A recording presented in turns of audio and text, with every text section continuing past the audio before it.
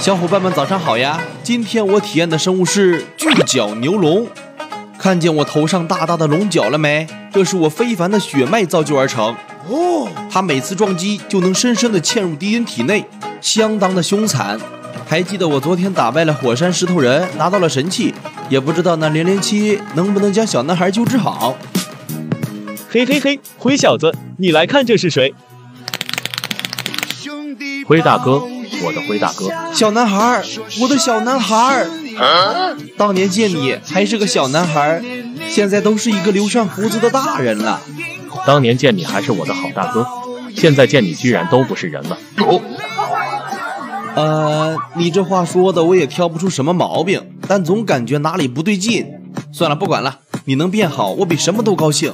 现在你还需要休养，不如就回野人部落吧，我也能回去看一看大家。好呀，灰大哥，零零七，不妨送我们兄弟一程。没问题，今天难得是个好日子，大家应该高高兴兴的回家。好，那咱们出发吧。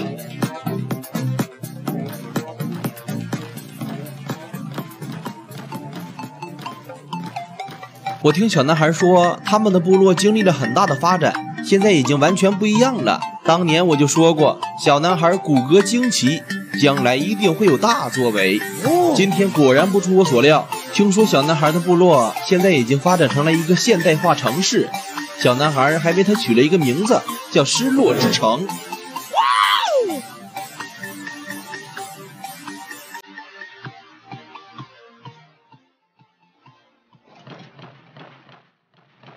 就送你们到这里吧，我需要去跟皮老板汇报这段时间发生的事，相信我们很快就会再见面。好，希望咱们下次见面可不要再打起来了。哈哈哈，正所谓不打不相识，你我皆缘分，日后再相见。零零七，拜拜了。小男孩，我送你进去吧。灰大哥不对劲啊，这里本应该热闹非凡。怎么今天一个人也没看见呢？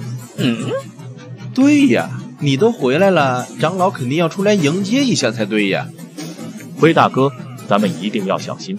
怕什么？你看见我的样子了没？咱现在可是凶狠的恐龙，谁敢不服？谁敢？我敢。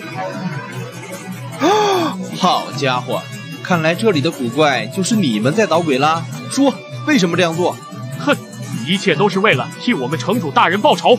我的天哪，一个大反派居然有这么多追随者！好，好，好，那就送你们一起去见他吧！接招！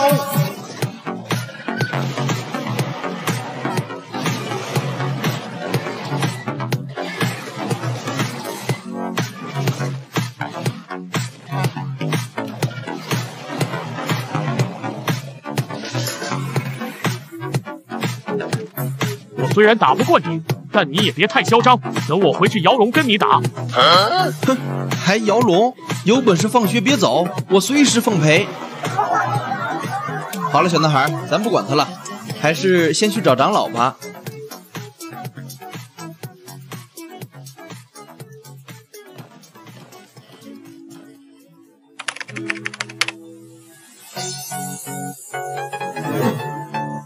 长老告诉我，这一段时间现代城不断遭受攻击，如今下城已经被腐化生物占领了。他们决心要把野人部落所在的上城吞并。经过不断战斗，野人部落伤亡惨重。如果再不反击，这里将会成为野人部落的葬身地。灰大哥，如今我大伤在身，不能战斗，这可怎么办？哎，不用怕，竟然敢欺负到咱们头上来！我要让他们知道什么叫做恶龙自有恶龙志！看我燃烧血脉，巨角牛龙超进化！嘿，暴躁飞牛龙进化成功！我现在的面目变得更加可怕，能够口喷超级闪电哦，尾巴轻轻摇动就能引起一场超燃爆炸。现在的我堪比恶魔。但我却是为了正义而战。下城的腐化生物们，让我来把你们清剿干净吧！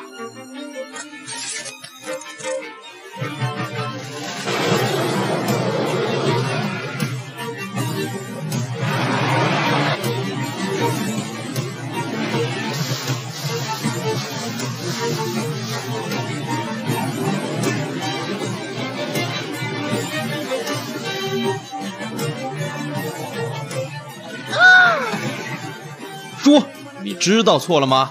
哼，一切都是为了城主大人。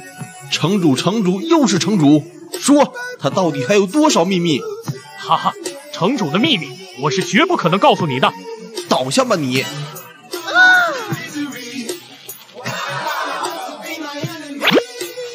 死到临头了还这么嘴硬，哼！城主背后的秘密我一定会调查清楚的。咱们七龙看唱本，走着瞧。好了，小伙伴们，今天飞牛龙的故事就先到这里了。大家还想看什么恐龙？记得留言告诉我哦。咱们下期见。